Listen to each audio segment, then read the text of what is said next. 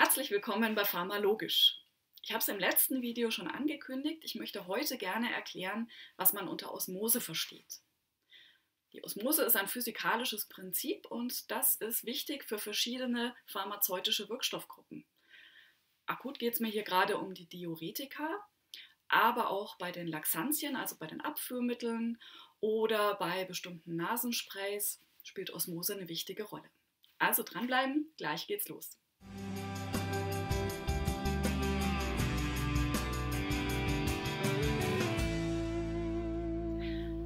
Fangen wir mal damit an, uns einen Tee zu kochen.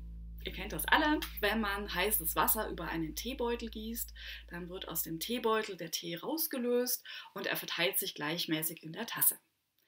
Wenn man jetzt so wie in meiner Skizze noch eine durchsichtige Glastasse nimmt und dann auch noch einen roten Früchtetee, dann kann man das besonders gut beobachten. Die rote Farbe verteilt sich gleichmäßig in der ganzen Teetasse, nach einer gewissen Zeit wird es keine Stellen mehr geben, wo mehr rote Farbe ist und es wird auch keine Stellen mehr geben, wo überhaupt keine rote Farbe angekommen ist. Das ist uns allen klar, das haben wir alle schon mal gemacht. Wenn man zwei Flüssigkeiten zusammenkippt, dann braucht es einen Moment, aber am Schluss habe ich ein gleichmäßiges Gemisch überall in meinem Glas oder in meiner Tasse. Ich werde es nicht schaffen, zwei Flüssigkeiten zu trennen. Vorausgesetzt, es sind beides ähm, wässrige Lösungen. Ja, also wir fangen jetzt nicht mit Öl und Wasserschicht an, sondern wir gehen davon aus, es ist alles wässrig und ineinander löslich. So, wenn ich jetzt aber ein anderes Gefäß nehme, ich habe euch hier mal so eine Art Erlenmeyer-Kolben hingemalt und in der Mitte eine Trennschicht einfüge, dann sieht die Situation ganz anders aus. Ich kann jetzt da auch wieder Wasser einfüllen und dann nur auf einer Seite dieser Trennschicht ein paar Teilchen einstreuen. Das können verschiedenste Dinge sein. Das kann Kochsalz sein, das kann Zucker sein, das können irgendwelche anderen Elektrolyte sein. Völlig egal, wir merken uns einfach nur, ich kippe da noch irgendwas Zusätzliches rein. So, jetzt stellt diese Flüssigkeit wieder fest, sie würde sich eigentlich gerne vermischen. Sie würde gerne dafür sorgen, dass an jeder Stelle in der Flüssigkeit die gleiche Konzentration ist. Das geht aber wegen dieser Trennwand nicht. Diese Trennwand ist zwar so ein bisschen durchlässig, aber sie lässt nicht alles durch. Sie lässt nämlich im konkreten Fall Wasser durch, aber keine Teilchen.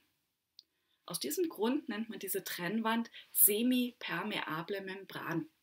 Das heißt also teildurchlässig. Wasser kann durch, Teilchen nicht. So, schauen wir uns die Situation an. Rechts und links habe ich Wasser, nur auf der rechten Seite habe ich Teilchen die Teilchen würden sich eigentlich gerne auf der linken Seite mitverteilen, damit überall die gleiche Konzentration ist. Das geht aber nicht, weil diese blöde Membran dazwischen ist. Alternativ geht nur Plan B, nämlich von der linken Seite strömt Wasser nach rechts, um dort die Konzentration möglichst weit zu verdünnen. Wenn ich links natürlich gar kein Teilchen habe, dann werde ich nie eine gleichmäßige Konzentration erreichen, selbst wenn ich das komplette Wasser auf die rechte Seite ziehe. Aber wenn man das realistisch im Körper betrachtet, dann wird es immer so ausschauen, dass auf beiden Seiten Teilchen sind. Die Frage ist nur, wie ist die Konzentration?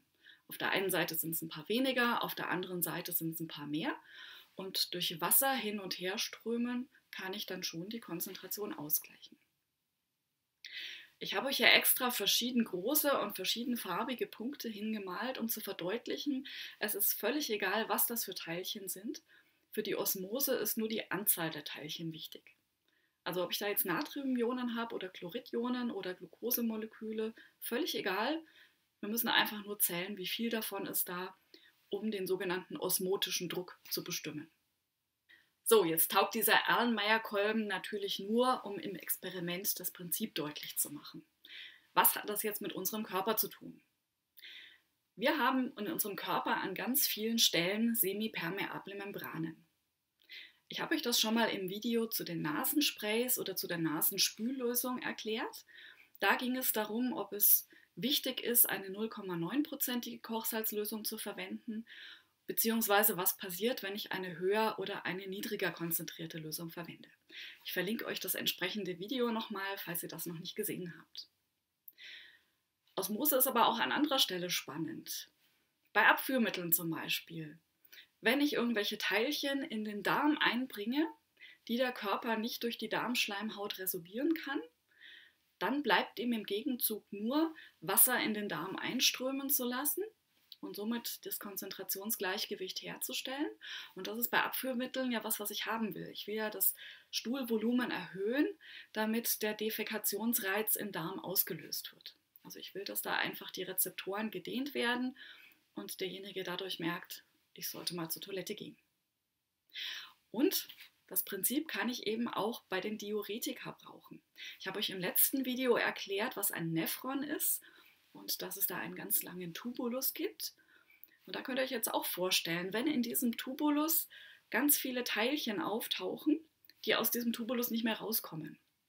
Warum auch immer, erkläre ich euch nächste Woche. Aber stellt euch einfach mal vor, ich habe im Tubulus plötzlich ganz viele Teilchen dann hat der Körper auch nur die Möglichkeit, Wasser in den Tubulus einströmen zu lassen, um die Konzentration auszugleichen.